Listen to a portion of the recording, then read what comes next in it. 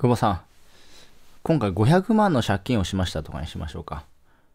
はい、騙されてない、騙されてないけど500万の借金をしましたと。騙されてないけど500万の借金をしましたにしましょうか。久保さん、あの、ローン通りましたね。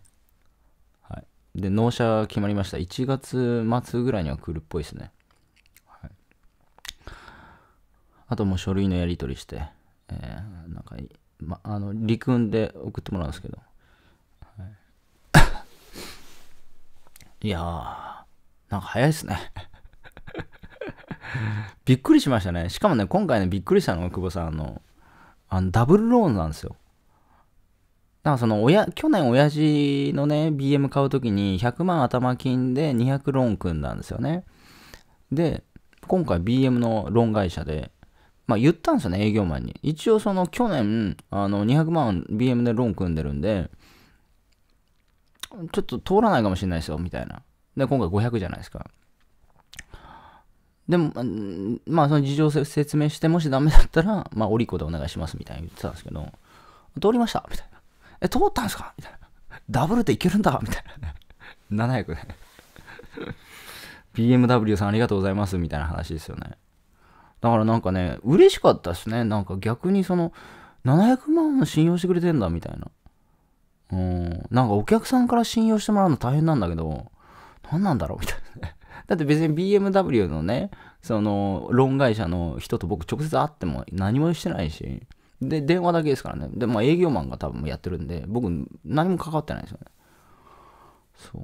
まあ営業マンに電話一本して、まあじゃあローン組んでみますってさ、それだけですからね。本当ありがたいですね。2万本僕、2万本動画撮ってもまだ疑われますからね。何なんだこのさ、みたいなね。ありがたいですよね。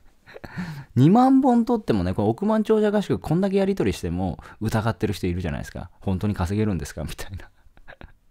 やれよとさっさとね、っていう。うん。まあ、不思議ですね。ほんと不思議です。ほんと。でね、久保さん、本当に不思議なことがあるんですけど、あのまあ一応前払い金で、まあ今回60ぐらい払ってるんですよ。60かな、70。まあ、500トータルで560、70だったんですよ。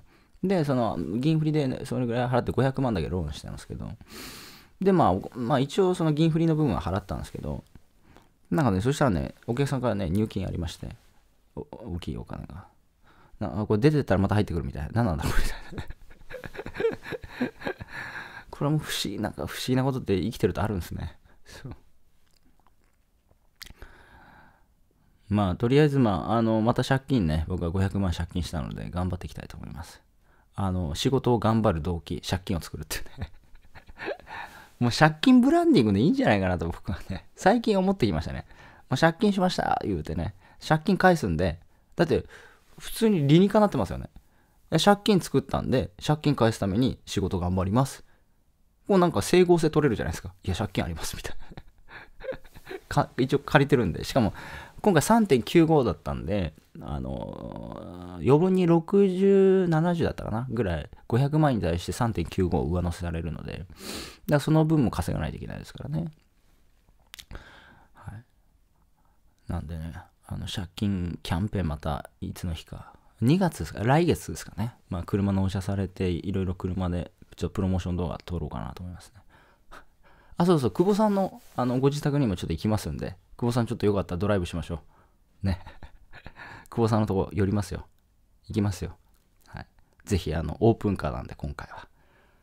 もうね、3、4はね、走行距離ね、まあ、今、まだ売れてないんですけど、まあ、買った理由いろいろあるんですけど、要はもう走行距離ね、もう走りたくないですあの車。要はもう23万、今23万5000、4000キロなんですよ。で、これ24万キロにしたくないですね。で、25万キロにもしたくないんですよ。もう売るってなった時にね。さすがにやっぱ結構その、いろいろとやり取りしたんですけど、やっぱね、走行距離のことをやっぱ言われるので、まあそりゃそうなんだけども、これ以上まあ、売るってなった時に、うん、これ25万キロ、26万キロ、30万キロになったら、やっぱさすがにね、売れる車だけど売りづらいんですよね。で、今23万キロだったら、カーセンサーにも、それで23万キロでも出てる車はあるので、だから23はキープしておきたいっていうのもあるんですよね。だから、まあ、今回買った車をメインにして、まあ、もう売れるまで保管して走らないっていう、まあ、エンジンは動かしてちょっとオイル回したりはしますけども、まあ、そんな感じで、まあ、あとビニールシートかぶせてもいいしね。うん。いやー、あ、なんか、簡単になんか、簡単に車、新しいの来ますね。あれ、車ってこんな簡単に買えたのかな？みたいなね。なんか不思議っすよね。電話一本して買い,、ま、買いたいんですけど、言うて。で、ローン通りました。納車です。みたいな。早いな、みたいな。ね、まあ、良かったっす。本当に、その枠があって。まあでも、オリコは通るとは思うんですよね。だって GTR も当時買ったの5、600万だったもんで、それ通ってるんで。うん。まあ今後もちょっとローンをね、大活用して、ローン会社といい関係を構築したいなと思います。なぜならば、あの、借金ブランディングしたできますしね。借金ありますんで、みたいな。借金返すために頑張っていきますよ。まあ何のために頑張ってもいいと思うんですよね。うん。なんか借金がないっていう、逆になんか、なんか、なんかじやる動機があった方がいいんじゃないですか？別にまあ借金じゃなくてもいいんですけどね。僕は、なんか借金があった方が、まあコピーにもいろいろ使えるんで、あの、全然いいんですけど、な、なんかその、やる動機？